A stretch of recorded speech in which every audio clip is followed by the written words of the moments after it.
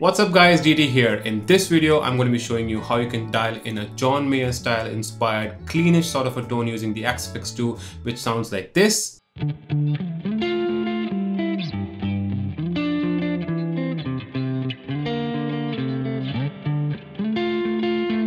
And like this.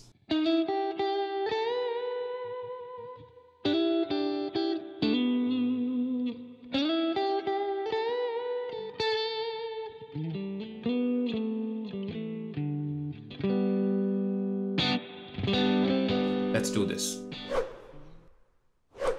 Alright, so like always, we are inside Axe Edit and I've got my Fender Stratocaster here. This is a USA Deluxe 2014 model, I believe. Uh, N3 standard noiseless pickups. I'm on the neck pickup at the moment, or position number five, as they like to call it. Uh, I'm using Ernie Ball, regular slinky strings on there. Volumes on full, tones on full, so nothing fancy going on there. Let's start dialing in uh, block by block. Obviously, we're going to start with the amp and the cab. Now, when it comes to the amp, John Mayer has been known to use variety of different amps from Fenders to even boutique amps such as Dumbles. We're not going to go that complex in this video. This is not a tone quest. What we're going to do is keep things really simple and sometimes, you know, it's a really simple setup that can get you a really good usable tone. So let this preset sort of be a testament to that. Let's start with the amp. What better amp to use than a Fender when it comes to a Stratocaster and a clean tone and the single coil pickups. So we're going to start by using a Fender amp. We're going to be using the Super Verb Normal. This is, I believe, a Fender Super Reverb amp. Uh, you can read more about it in the EX guide uh, in the Fractal audio documentation really good sounding amp. So let's go ahead and add the cab as well. Now for the cab, what I like to do is a 4x12 cabinet. We're going to be using a stock cab like always. F037 is what we're going to go for. This is, I believe, a 4x12 Marshall basket weave uh, with a Celestion G12 25 watt speakers implementation. I believe this is a Red Wirez audio cabinet. Now before I tweak a few things in the amp or the cab, let's hear how everything is sounding at stock. This is how the preset is sounding at the moment.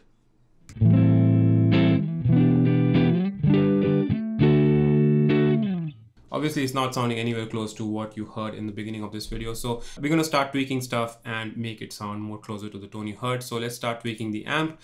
Uh, what we're going to do is we want a very thick sort of a tone and already you can hear pretty much the uh, the setup that we have right now is sounding quite bassy and quite boomy so we're going to trim down some of the bass um, so we're going to bring down the brace to around 3 input drive I'm going to keep it at 5 where it is right now.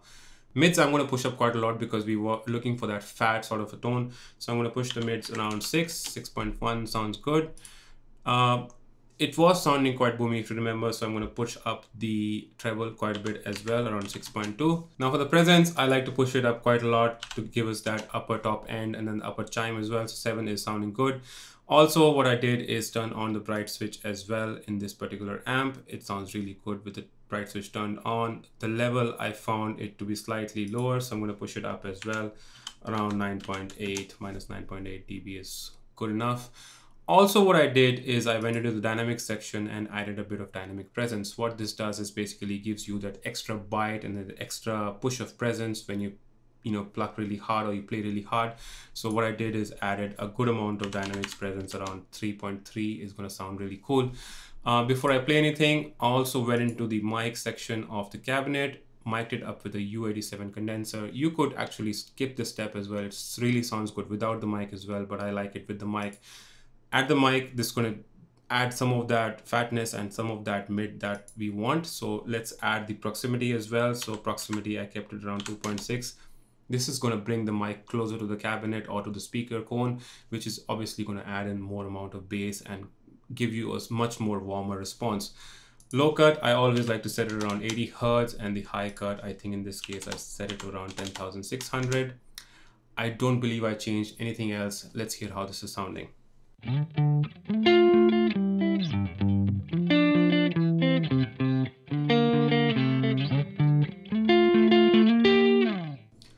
that's sounding really cool. It's close to the kind of tone we want, but it's miss missing that push, that that extra edge that we have.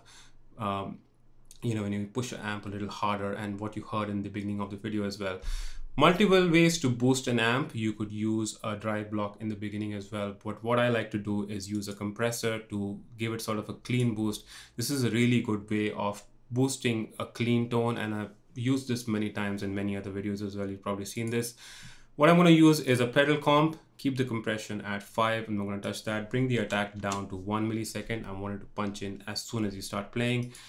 Don't want it to hold it too long. I'm going to set the release to around 17 milliseconds. I don't believe I touched any of this, but this is where the magic knob is. You can push the amp a little bit more by adding a little bit of more level to the compressor. This is going to push the amp to get you that extra edge.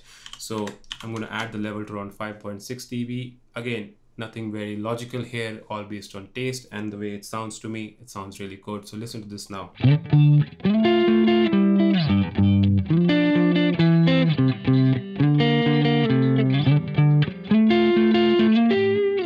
That sounds really cool, but it's obviously missing a bit of modulation. So what I like to do is also add in some reverb in there to make it sound really cool. Uh, the preset is called slow dancing, so why not add in something which is uh, what was used on that track.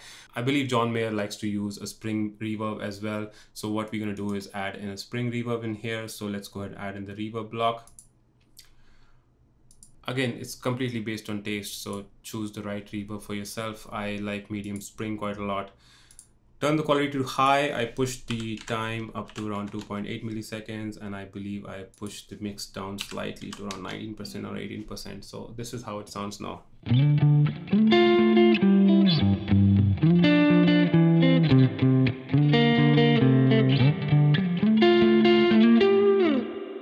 Sounds really cool.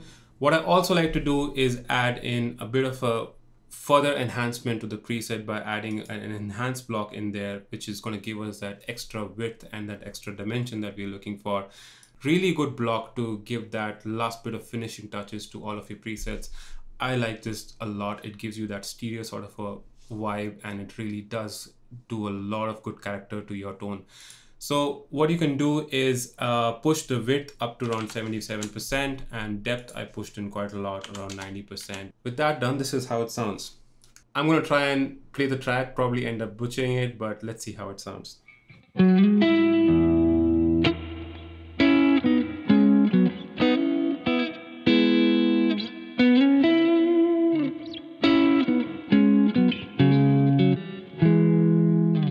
That sounds really cool.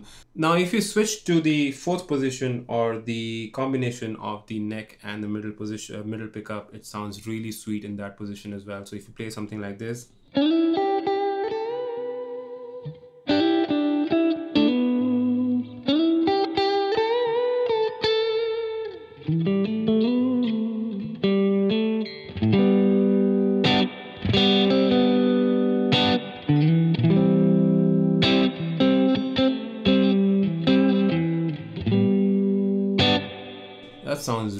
Sweet to my ears. I hope you guys like it too as well.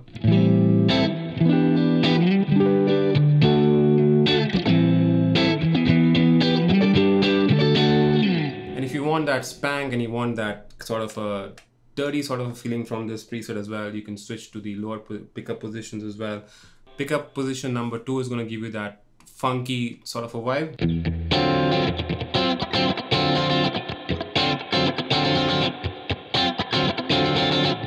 That sounds really cool. And if you go to the bridge position, you get that really uh, bridge position sort of a lead sound.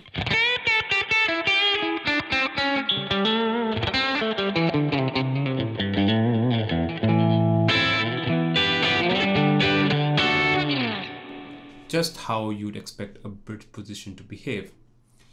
All right, that's pretty much it when it comes to the basic tone. If you want to take this to the next level and add in some bit of dirt in there and make it sort of a lead tone, what I recommend is add in a drive block in between the compressor and an amp. Let's go ahead and do that. In fact, let's go ahead and add in the drive block. You could be having this on scene too, actually, for a lead sort of a presence.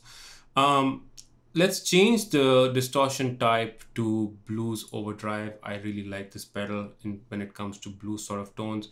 What I did is I pushed the drive down to around 2 and I also pushed the tone to around 1.8. Sounds really cool. And what I did is push the mids up quite a lot so that gives us that fatness. What I'm gonna do is push the mids to around 4.8. Mid frequency, I kept it around 636 only, didn't touch that. Level, I'm gonna push down a bit so that it's not that dominant in the tone.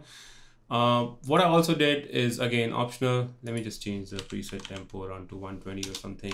Uh, so slightly higher tempo. Uh, what I also like to do is add in a delay block. Again, purely by choice, use what sounds right to you. I'm just adding a digital mono uh, delay over here.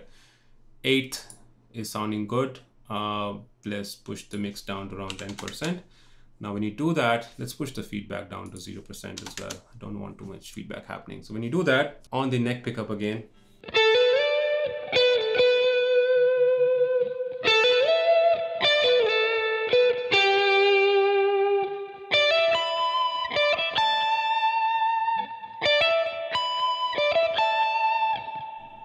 I messed that solo up, didn't I? but you get the idea. It sounds really cool, right? So this is how you can actually use this sort of a preset to dial in a sort of a you know spanky sort of a lead tone as well so you could use the bridge pickup to sound like this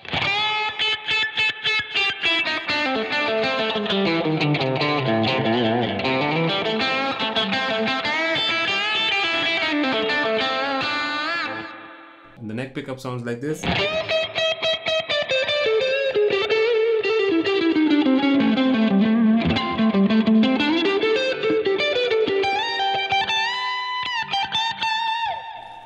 sounds really cool. Not much for blues player, am I? But that sounds really cool in my opinion. Well, that's pretty much for the tone. Hope you guys liked it. But before we wrap up this video, it's time for the honorable mentions for this video. So I'd really like to thank Arthur Martinez, uh, Marco Moran, and Claudio Conio, who made a contribution towards the channel. I hope I pronounced your names right. Thank you so much guys and in case you are wondering how you can get an honorable mention in one of my future videos, there are a couple of ways to support me monetarily. Super thanks is now enabled on all of the videos, uh, at least the ones which are eligible. So if you want to contribute directly from YouTube, you could use the super thanks feature. Or if you want to go outside the YouTube route, you can definitely contribute towards my PayPal. I have the link in all of my descriptions in all of the videos make sure you go and check it out and if you want to support me any amount is welcome and I'll give you a shout out in my upcoming videos. It goes without saying if you like the video and the content please make sure you give this video a thumbs up and in case you aren't subscribed to the channel please go ahead and do so. There are thousands of ways to support a creator. I, I feel the subscription is the easiest one it doesn't cost you a thing, it's a button, you click it and you get all the benefits of all the videos that are coming up in the future. So make sure you go ahead and do that. Until I see you guys in the next video, make sure you guys stay safe. Keep rocking guys. Cheers. Bye-bye.